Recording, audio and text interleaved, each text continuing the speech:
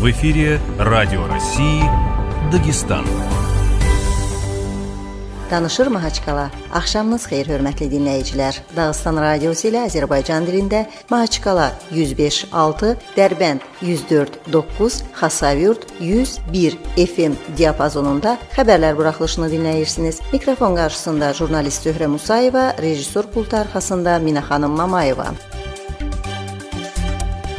Respublika üzrə Rospotrebnadzor İdarəsinin Dağıstan ərazisində koronavirusun yayılması ilə bağlı verdiyi məlumata əsasən 36814 koronavirus xəstəliyinə yolxan qeydə alınıb, son sutq ərzində artım 168 nəfər təşkil edib. Ümumilikdə müayinə dövründə koronavirus infeksiyası ilə bağlı vəziyyət belədir. Respublika Səhiyyə Nazirliyinin əsasları üzrə 33257 nəfər sağalıb, 1563 nəfər koronavirusa yoluxan vəfat edib. Dağıstanda koronavirus infeksiyasının yayılmasının qarşısını almaq məqsədi ilə respublika vətəndaşlarına 1,5 metr sosial məsafəyə riayət etmək tövsiyə olunur.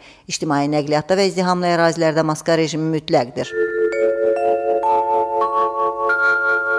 Vahid Rusiya siyasi partiyası COVID-dən sonrakı reabilitasiya proqramının inkişafı üzrə ekspert təkliflərini hökumətə göndərəcək. Təkliflər partiya qurultayında təşkilini prezidentin təklif etdiyi sənədin layihəsi hazırlanarkən nəzərə alınacaq. Vahid Rusiyanın meydançasında koronavirusa yoluxanların davamlı tibbi reabilitasiyası proqramının müzakirəsi baş tutdu. Aparıcı səhiyyə mütəxəssisləri bu bərpanın effektivliyini artırmaq üçün təkliflər səsləndirib. Paytaxtın Kommunarka xəstəxanasının baş həkimi Denis Prasenko prezident reabilitasiya proqramının yaradılmasını elan etdi. Bu məqsədlə 100 milyard rubl ayrılacaq. Odur ki, vəsaitin nəyə istiqamətlənəcəyini müəyyənləşdirmək məqsədi ilə qanunvericilər və maliyyəçilər üçün texniki tapşırıqların formalaşdırılması lazımdır. Ayrıca bu sahədə kadr hazırlığı proqramını müzakirə etmək gərəkdir. Çünki reabilitasiya proqramı yalnız avadanlıq almaqla sona yetmir deyir. Dmitri Raqaçov adına uşaq hematologiya, onkologiya və immunologiya üzrə Milli Tibbi Araşdırma Mərkəzinin prezidenti Aleksandr Rumyansev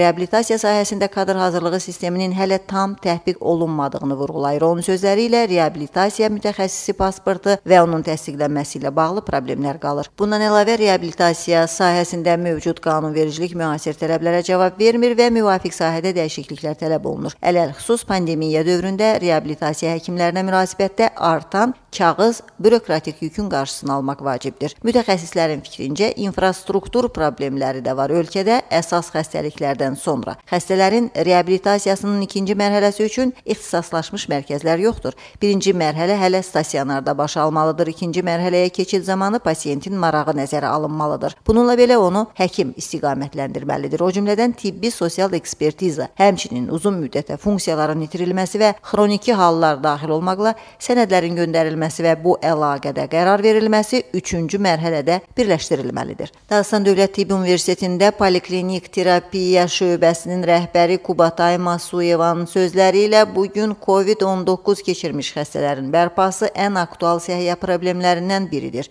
Reabilitasiya müalicə prosesinin vacib hissəsidir.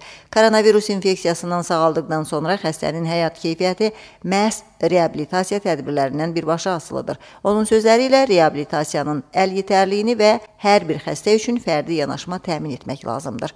COVID-19-u ağır keçirən və nəticədə əziyyət çəkin xəstələrə vahid pulmonoloji mərkəz dispanseri nümunəsində təşkil edilən tibb müəssisəsində müşahidə olunmaq məsləhət görülür. Bundan əlavə bu infeksiya ilə mübarizədə əsas yükü çiyinlərində daşıyan tibb işçilərinin özləri üçün psixoloji və sosial reabilitasiya proqramı təmin etmək lazımdır.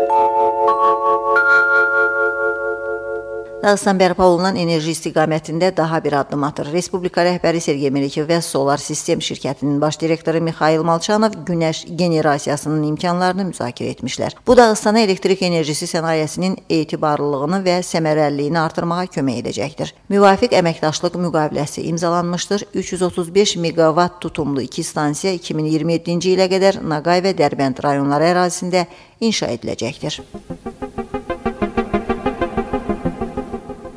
Minlərlə Dağıstanlı qaz kəmərinə qoşulma arzusundadır. Prezident Vladimir Putinin qərarına əsasən onun tətbiqi əliyetər olacaq. Artıq qaz borusu evədək təmənnasız çəkiləcək. Gazprom eləcə də ölkənin mədəni həyatında fəal iştirak edir. Onun bölgəsi olan Gazprom Transqaz Mahaçqala Dağıstanın incəsənəti və mədəniyyətini dəstəkləmək çərçivəsində Taxagoydi adına Milli Muzeyə səs aparatı hədiyyə edib. Muzeyin baş direktoru Paxrudin Məhəmmədov burada müxtəlif maarifləndirici tədbirlərin keçirildiyindən müvafiq avadanlığa ehtiyac olduğunu vurğuladı. Problemi həll etmək məqsədi ilə baş direktor Aleksandr Astaninin adına məktub göndərilmişdi və minnətdarlıq əlaməti olaraq muzey kollektivi Gazprom Transqazın rəhbərini təşəkkürnamə ilə təltif edib. Gergebil rayonunda çoxdan gözlənilən hadisə baş verdi. Kukini konserv zavodu fəaliyyətini bərpa edib. Respublika rəhbəri ilə canlı yayım zamanı istehsalın bərpası ilə bağlı məsələ qaldırılmışdı. Sergey Melikov zavodun bərpası barədə müvafiq idarələrə göstəriş verdi və artıq fermerlər öz məhsullarını buraya təhvil verir. Bu əhaliyə maliyyə yardımı deməkdir. Çünki minə yaxın təsərrüfat meyvə yetişdirməklə məşğuldur. Məhsulun keyfiyyətinə respublika hüdudlarından kənarda da bəllidirlər. Zavodda onlarla adam işlə təmin olunub və müəssisə yerli büdcəyə vergi köçürəcək. Siz xəbərlər buraxılışını dinlədiniz.